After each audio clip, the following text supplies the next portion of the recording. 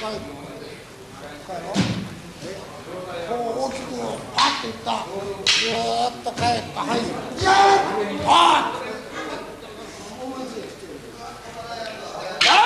ーおそのままで後ろ下がるそうです合わせつつずーっと書いたりそう合わせつつそうそうそれで元の位置まで行って止まったり。それからそこでまだ元の位置まで行って てあ戻ってない感じ合わせたとこまで戻っててそうはいそれでこう一旦止まって違うこうあいや In Japan, the tendency of the teacher is not to teach you by the spoken word. He will keep striking you in one place where your weakness lies. He will keep striking you. So eventually you learn the painful way, the hard way, to stop that weakness. In kendo, my weakness is my wrist, kote. eh? So the kendo teacher just continually hits you, strikes you, and eventually you learn. You learn, okay, it's really painful.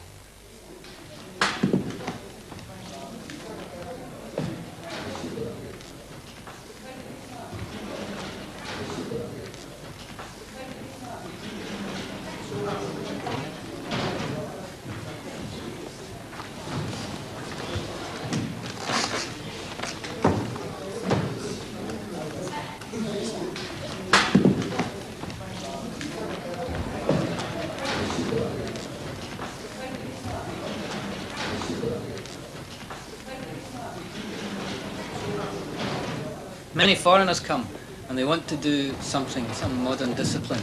And the first time they're hurt or the first time they experience any pain, they stop.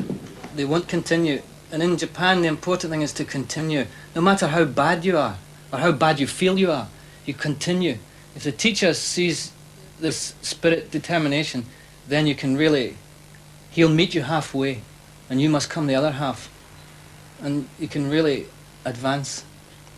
But Westerners, are, yeah, Westerners uh, tend to be egotistical. In kendo, if you get hurt, it's not so much your body that gets hurt; it's your ego. eh? Ego gets hurt, so the people stop. You know, they've been defeated. uh, You know, they feel I've been defeated. If you want to overcome others, you must first overcome yourself, your own weaknesses.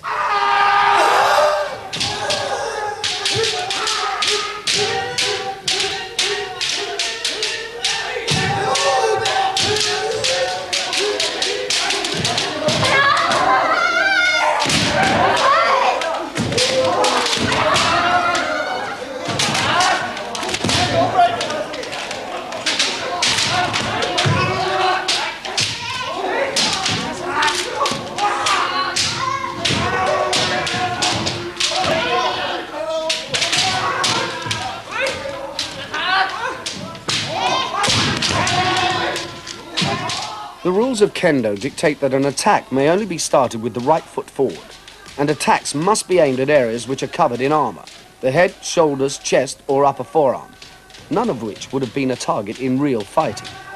People, beginners especially, follow their instincts and raise their hands to protect their head, which leaves the body open.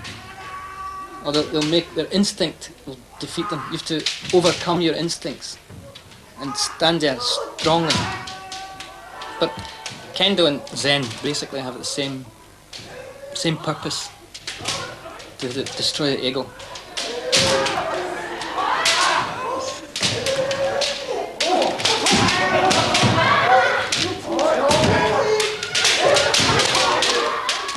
The atmosphere in a kendo dojo has a powerful sense of controlled violence. The shouts are full of intensity. The fighting is fast and ruthless.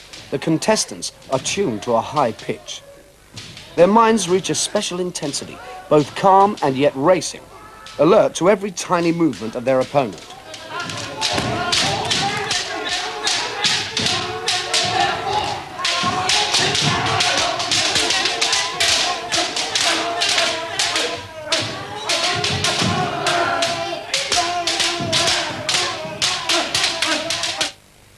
The Japanese call it ichigo ichie, which means every time is the last time.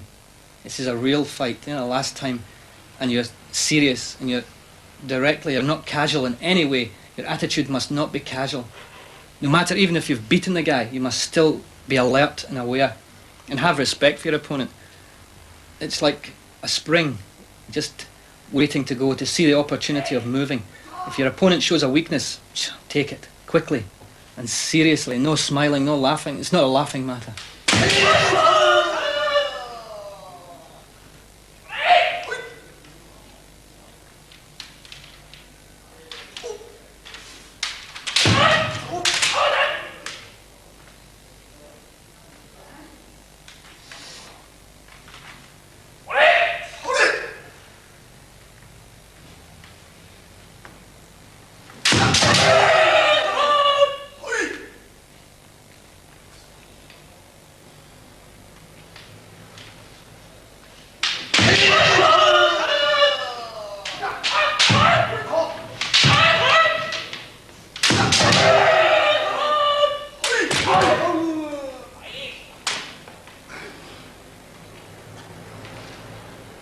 Les Denniston and the late Jim Elkin both had their philosophy of life changed by their contact with the Japanese fighting arts.